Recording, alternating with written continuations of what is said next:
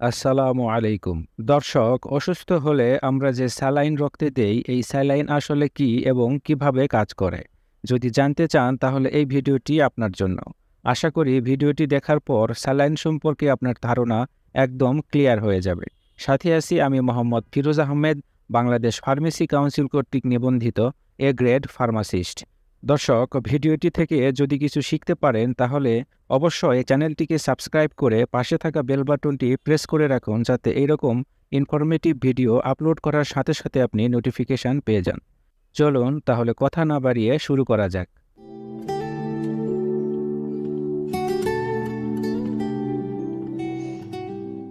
দর্শক, ভিডিওটির শুরুতে আপনাদের আইসোটনিক সলিউশন এবং ইলেকট্রোলাইটস কি তা জানিয়ে রাখি।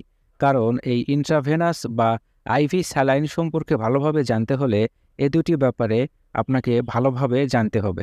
আইসোটনিক সলিউশন আইসোটনিক সলিউশন বা দ্রবণ হলো এমন একটি দ্রবণ যার ঘনত্ব এবং আমাদের শরীরের কোষের মধ্যকার বা সাইটোপ্লাজমের ঘনত্ব একই থাকে। অর্থাৎ আপনি যদি কোনো আইসোটনিক দ্রবণের মধ্যে কোনো কোষ রাখেন তাহলে কোষের ভিতরের ঘনত্বের কোনো পরিবর্তন ঘটবে না। কারণ কোষের ভিতরের ঘনত্ব এবং বাহিরের ঘনত্ব একই থাকবে। আইসোটনিক দ্রবণের দুটি উদাহরণ হল zero point nine percent sodium chloride এর দ্রবণ, ফাইভ পার্সেন্ট ড্রেক্সট্রোজ এর দ্রবণ। এই ঘনত্বের কম ঘনত্বের দ্রবণকে বলা হয় হাইপোটনিক সলিউশন বা দ্রবণ।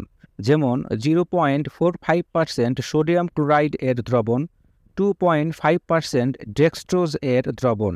আবার আইসোটনিক দ্রবণের চেয়ে বেশি ঘনত্বের দ্রবণকে বলা হয় হাইপারটনিক দ্রবণ, যেমন থ্রি পার্সেন্ট সোডিয়াম ক্লোরাইড এর দ্রবণ টেন পার্সেন্ট ডেক্সট্রোজ এর দ্রবণ। এখানে বলে রাখি যে মেডিকেলের ভাষায় কম বোঝাতে হাইপো এবং বেশি বোঝাতে হাইপার ব্যবহার করা হয়। এই হাইপোটনিক এবং হাইপারটনিক দ্রবণের মধ্যে যদি কোনো কোষ রাখা হয়, তাহলে কোষের অভ্যন্তরীণ ঘনত্ব বা সাইটোপ্লাজমের ঘনত্বের পরিবর্তন ঘটবে। তাই এই ধরনের দ্রবণ রক্তে দেওয়ার সময় ডাক্তারদের সতর্কতা অবলম্বন করতে হয়। তবে আইসোটনিক দ্রবণের ক্ষেত্রে তেমন প্রবলেম হয় না। একজন নর্মাল মানুষ বা সুস্থ মানুষও আইসোটনিক দ্রবণ রক্তে নিতে পারে। আশা করি আইসোটনিক দ্রবণ, হাইপোটনিক দ্রবণ এবং হাইপারটনিক দ্রবণ সম্পর্কে পুরোপুরি বুঝতে পেরেছেন। এখন তাহলে আলোচনা করা যাক ইলেকট্রোলাইটস কি এই ব্যাপারটি নিয়ে। ইলেকট্রোলাইটস মানুষের শরীরের নর্মাল কাজ করা বা সুস্থ থাকার জন্য অপরিহার্য। ইলেকট্রোলাইটস আর কিছুই না, এগুলো হলো কিছু ফ্রি আয়ন যেমন sodium chloride, potassium, magnesium, calcium, phosphate এবং বাইকার্বোনেটস। এই ফ্রি আয়নগুলোকেই একত্রে বলা হয় ইলেকট্রোলাইটস। এই ইলেকট্রোলাইটস যে আমাদের জন্য কতটা প্রয়োজন, তার দুটি উদাহরণ দিলেই বুঝতে পারবেন। আমাদের হার্ট যে বিট করে, তার ইলেকট্রিক্যাল ইম্পালস তৈরি হয় এই ইলেকট্রোলাইটসের অ্যাক্টিভিটির কারণে। আমাদের নার্ভাস সিস্টেম অর্থাৎ ব্রেন ও নিউরন কাজ করে ইলেকট্রোলাইটসের সাহায্যে। এক কথায় ইলেকট্রোলাইটস আমাদের শরীরের নর্মাল কাজ করার জন্য একদম অপরিহার্য। সো সুস্থ থাকতে হলে আমাদের শরীরের ইলেকট্রোলাইটসের ব্যালেন্স স্বাভাবিক থাকাটা খুবই গুরুত্বপূর্ণ। আমরা যে আইভি স্যালাইনগুলো ব্যবহার করি, সেগুলো মূলত এই ইলেকট্রোলাইটসের ব্যালেন্স ঠিক রাখতে এবং যেসব পেশেন্টস মুখে খেতে পারে না, তাদের শক্তি যোগাতে ব্যবহার করা হয়। এখন তাহলে আলোচনা করা যাক কয় ধরনের স্যালাইন হয় এবং তাদের মধ্যে কি থাকে এই ব্যাপারটি নিয়ে। ইন্ট্রাভেনাস ফ্লুইড বা দ্রবণগুলো সাধারণত ছয় ধরনের হয়ে থাকে। এক, শুধু সোডিয়াম ক্লোরাইড বা লবণের দ্রবণ। দুই, শুধুমাত্র ডেক্সট্রোজ বা গ্লুকোজের দ্রবণ। তিন, সোডিয়াম ক্লোরাইড বা লবণ ও ডেক্সট্রোজ এর কম্বিনেশন দ্রবণ। চার ল্যাকটেটেড জিঞ্জার্স এর সলিউশন পাঁচ প্লাজমা ভলিউম এক্সপান্ডার এবং ছয় অ্যামাইনো অ্যাসিড সলিউশন শুধুমাত্র লবণ বা সোডিয়াম ক্লোরাইড এর সলিউশন এই ধরনের ইন্ট্রাভেনাস দ্রবণ বা সলিউশনে থাকে শুধুমাত্র লবণ এবং পানি। এই দ্রবণগুলোর মধ্যে হয় zero point nine percent sodium chloride এর দ্রবণ zero point four five percent sodium chloride এর দ্রবণ এবং থ্রি পার্সেন্ট সোডিয়াম ক্লোরাইড এর দ্রবণ। শুধুমাত্র লবণ এবং পানির যে সলিউশন সেটাকে মেডিকেলের ভাষায় বলা হয় নর্মাল স্যালাইন এই নর্মাল স্যালাইনকে বিভিন্ন কোম্পানি বিভিন্ন নাম দিয়ে বের করতে পারে। যেমন বেক্সিমকো ফার্মাসিউটিক্যালস এই নর্মাল স্যালাইনের নাম দিয়েছেন স্যালোরাইড। তার মানে এই স্যালোরাইডের মধ্যে শুধু সোডিয়াম ক্লোরাইড বা লবণ এবং পানি আছে। শুধুমাত্র ডেক্সট্রোজ এর দ্রবণ বা সলিউশন। এই ধরনের ইন্ট্রাভেনাস দ্রবণ বা সলিউশনে শুধুমাত্র ডেক্সট্রোজ বা গ্লুকোজ থাকে। এই দ্রবণগুলো হয় ফাইভ পার্সেন্ট ডেক্সট্রোজ এর দ্রবণ, টেন পার্সেন্ট ডেক্সট্রোজ এর দ্রবণ, টোয়েন্টি ফাইভ পার্সেন্ট ডেক্সট্রোজ এর দ্রবণ। এই শুধুমাত্র ডেক্সট্রোজ এর সলিউশন বা দ্রবণকে মেডিকেলের ভাষায় বলা হয় ডিএ যার অর্থ হল ডেক্সট্রোজ ইন অ্যাকুয়া অ্যাকুয়া শব্দের অর্থ হল পানি। তার মানে ডেক্সট্রোজ ইন অ্যাকুয়া শব্দের অর্থ হল পানির মধ্যে ডেক্সট্রোজ বা গ্লুকোজ তাহলে তিন ধরনের ডিএ হতে পারে। এক five percent DA ten percent DA এবং টোয়েন্টি ফাইভ পারসেন্ট ডিএ এই ফাইভ পারসেন্ট ডেক্সট্রোজ বা গ্লুকোজের সলিউশনের নাম বেক্সিমকো ফার্মাসিউটিক্যালস দিয়েছেন ডেক্সাকুয়া।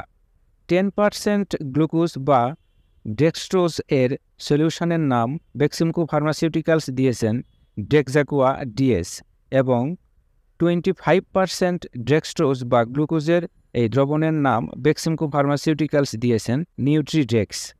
এই ফাইভ পারসেন্ট, টেন পারসেন্ট এবং টোয়েন্টি ফাইভ পারসেন্ট ডিএ ব্যবহার করা হয় যেসব পেশেন্ট মুখে খেতে পারে না তাদের জন্য। যেহেতু তারা মুখে গ্লুকোজ খেতে পারে না, সেহেতু সরাসরি রক্তে গ্লুকোজ দেওয়া হয়। সোডিয়াম ক্লোরাইড বা লবণ এবং ডেক্সট্রোজ বা গ্লুকোজ এর দ্রবণ বা সলিউশন। এই ধরনের কম্বিনেশন দ্রবণ বা সলিউশনে zero point nine percent sodium chloride এবং ফাইভ পার্সেন্ট ডেক্সট্রোজ থাকে। এই সলিউশন বা দ্রবণটি একটি আইসোটনিক সলিউশন বা দ্রবণ। এই ফাইভ পার্সেন্ট ডেক্সট্রোজ এবং zero point nine percent sodium chloride এর দ্রবণ বা সলিউশনকে মেডিকেলের ভাষায় বলা হয় ডিএনএস বা ডেক্সট্রোজ ইন নর্মাল স্যালাইন তার মানে হল নর্মাল স্যালাইন বা সোডিয়াম ক্লোরাইড এর দ্রবণের মধ্যে ডেক্সট্রোজ আছে। বেক্সিমকো ফার্মাসিউটিক্যালস এই ফাইভ পার্সেন্ট ডেক্সট্রোজ এবং point nine percent sodium chloride এর সলিউশন বা দ্রবণের নাম দিয়েছেন ডেক্সোরাইড এই ফাইভ পার্সেন্ট ডেক্সট্রোজ এবং পয়েন্ট নাইন পার্সেন্ট সোডিয়াম ক্লোরাইডের সলিউশন সাধারণত ব্যবহার করা হয় সেসব পেশেন্টের ক্ষেত্রে যাদের ইলেকট্রোলাইটস ইমব্যালেন্সের পাশাপাশি মুখেও খেতে পারে না। ল্যাকটেটেড রিঞ্জার সলিউশন বা হার্টম্যান সলিউশন এই ল্যাকটেটেড রিঞ্জার সলিউশন বা হার্টম্যান সলিউশনের প্রতি হান্ড্রেড এম থাকে sodium chloride zero point six gram sodium lactate zero point three one gram, potassium chloride zero point zero three gram এবং calcium chloride zero point zero two gram. এই Hartmann solution ব্যবহার করা হয় যখন খুব দ্রুত blood volume বাড়ানোর প্রয়োজন পড়ে। সিরিয়াস কোনো ট্রমা বা অ্যাক্সিডেন্টের কারণে শরীর থেকে ব্লাড লস হলে ব্লাড ভলিউম বাড়ানোর জন্য এটি ব্যবহার করা হয়ে থাকে। তাছাড়াও শরীর থেকে অতিরিক্ত পানি বা ইলেকট্রোলাইটস বের হয়ে যাওয়ার ফলে ব্লাড প্রেশার কমে গেলে এই ব্লাড ভলিউম বাড়ানোর মাধ্যমে ব্লাড প্রেশারটাকে বাড়ানোর জন্য এই সলিউশনটা ব্যবহার করা হয়। এই সলিউশনটির আরেকটি মোস্ট ইম্পর্ট্যান্ট ইন্ডিকেশন হলো এটি রক্তের খারত্ব বাড়াতে পারে। যখন রক্তের খারত্ব কমে যায়, তখন রক্তের খারত্ব বাড়ানোর জন্য এই সলিউশনটিও ব্যবহার করা হয়। বেক্সিমকো ফার্মাসিউটিক্যালস এই ল্যাকটেটেড জিঞ্জার বা হার্টম্যান সলিউশনের নাম দিয়েছেন ল্যাকটোরাইট তবে অরিয়ন ফার্মাসিউটিক্যালস তাদের এই ব্র্যান্ডের নাম রেখেছেন Hartmann IV plasma volume expander এই plasma volume expander six percent hydroxy ethyl starch এবং zero point nine percent sodium ক্লোরাইডের solution বা দ্রবণ। এই প্লাজমা ভলিউম এক্সপান্ডার সাধারণত ব্যবহার করা হয় যখন কোনো অ্যাক্সিডেন্ট বা অন্য কোনো কারণে অনেক ব্লিডিং হওয়ার ফলে ব্লাড ভলিউম কমে যায়, তখন এই ব্লাড ভলিউমকে ইনস্ট্যান্ট বাড়ানোর জন্য এই প্লাজমা ভলিউম এক্সপান্ডার সলিউশনটি ব্যবহার করা হয়। এই six percent hydroxy ethyl starch এবং পয়েন্ট নাইন পার্সেন্ট সোডিয়াম ক্লোরাইডের দ্রবণের নাম অরিয়ন ফার্মাসিউটিক্যালস দিয়েছেন প্লাজমা সল পপুলার ফার্মাসিউটিক্যালস দিয়েছেন হাই ভল অ্যামাইনো অ্যাসিড সলিউশন এই অ্যামাইনো অ্যাসিড সলিউশন মূলত দুই ধরনের হয়। Five percent amino acids plus D sorbitol plus electrolytes এর সলিউশন বা দ্রবণ। Seven percent amino acid plus ten percent glucose plus electrolytes এর সলিউশন বা দ্রবণ। এই সলিউশনটি সাধারণত প্রোটিনের ঘাটতির কারণে যে দুর্বলতা হয়, সেটিকে কাটানোর জন্য ব্যবহার করা হয়।